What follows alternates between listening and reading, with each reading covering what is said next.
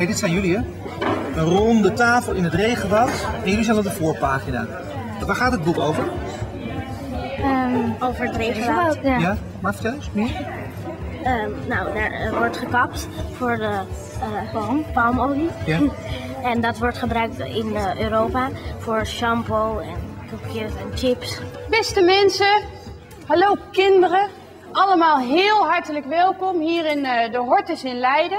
Mijn naam is Suzanne van Pijl en ik ben van bureau Schuttelaar en Partners. En wij zijn het bureau dat eigenlijk iedere dag met allerlei klanten en eh, bedrijven adviseert over hoe we de wereld nou gezonder en duurzamer kunnen maken. Dat is Erik daar, Erik Smaling. Hij zei, ik schrijf eh, af en toe een boek voor kinderen over best ingewikkelde onderwerpen. Nou, zei Erik, dat doe ik altijd samen met Rindert Kromhout. Want die schrijft heel veel kinderboeken. Het is heel lang een idee geweest en papier en die gele bladzijden. En jullie nu hier zo zien om een echte ronde tafel, dat eh, vind ik wel heel speciaal. We dachten, wat, en daarvoor zijn we hier vandaag, dat het belangrijk zou zijn als je zelf aan de slag gaat met wat wij dan noemen een rollenspel. Een soort toneelstuk Ja. waarin jullie om de tafel gaan zitten, wat jullie ook vanmorgen gaan doen. En de een is dan eh, de natuurbeschermer en de ander is de houtfabrikant Ja. enzovoort. Dus iedereen is belanghebbende. En jullie zijn vandaag ook belanghebbende. Mooi, ook een mooi woord. Jullie zijn bijvoorbeeld van de regering. Waar ben jij van? Natuurorganisatie. Natuur, hallo Natuurorganisatie. Van wie ben jij? Van uh, Van, eh, regenwoud. jij bent een regenwoudbewoner. En wat ben jij?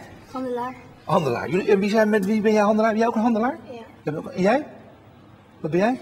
Jij, ach, de regering. Kortom, er zijn vier partijen hier aan tafel. Jullie moeten allereerst gaan nadenken over de rol die je hebt.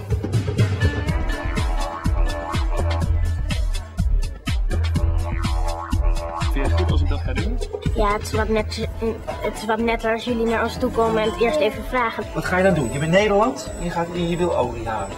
Nou, dan ga je afspreken met de regering van Indonesië of Maleisië of zo. Ja. Of, of ze dat willen verkopen. Het is niet leuk als we zeg maar, als alleen maar mensen overblijven. En regenwoud is veel uniek, dus het moet wel blijven staan. Ik denk dat het wel belangrijk is dat de dieren niet mogen uitsterven. En dan zeggen hun misschien van, ja, maar jullie zeggen het toch niet. En dan zeggen wij, nou probeer ons dan maar eens over te halen. Je moet gewoon een oplossing denken waardoor voor het, de natuur goed is. Maar ook dat je gewoon nog je het leven kan doorgaan met de dingen die je gewoon nodig hebt. De ronde tafelconferentie, dames en heren, kan gaan beginnen. Hoe staan de handelaren hier in dit hele verhaal? Ten eerste met de regenwoudbewoners. We willen ze werk aanbieden. We willen niet dat jullie gaan handelen in olie, eh, palmolie. Ja, dus wij wonen er wel. Wij willen voor jullie nieuwe huizen maken. En met alles erop en eraan. En dat jullie een auto krijgen. En we gaan scholen bouwen, zodat jullie kinderen naar school kunnen en Ja, betere banen Dat is toch kunnen fantastisch? krijgen. Nou, wij hebben daar niks aan. Wij hebben dat niet nodig.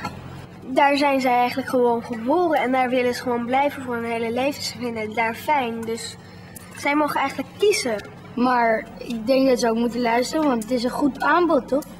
Jullie hebben goed, jullie hebben een goed aanbod.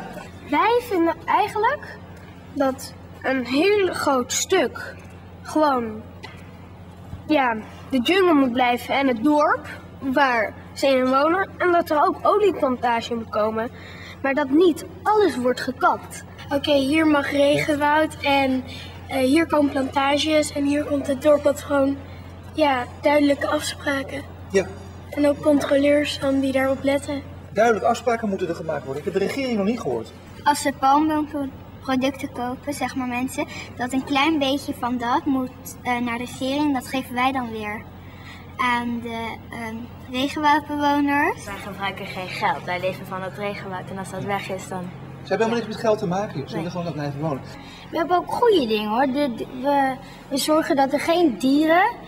Om, eh, we zorgen dat de dieren naar een andere plek kunnen gaan. Want we geven geld aan de natuurorganisaties zodat zij eh, dieren kunnen helpen.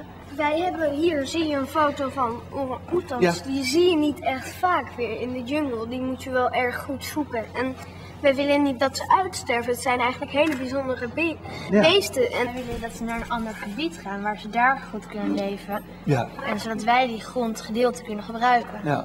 Die mensen moeten blijven bestaan. En de dieren. Ja, want de bewoners zijn eigenlijk een deel van het regenwoud. Ze horen er gewoon bij. Net als de orang-oetang, die hoort er ook. Maar hoe zorg je ervoor dat die mensen altijd blijven praten? We zeggen net dat praten eigenlijk heel belangrijk is. dan zeggen we gewoon, leggen ze aan een tafel en dan zeggen we... Oké, ga nu eens praten. Ik blijf erbij staan.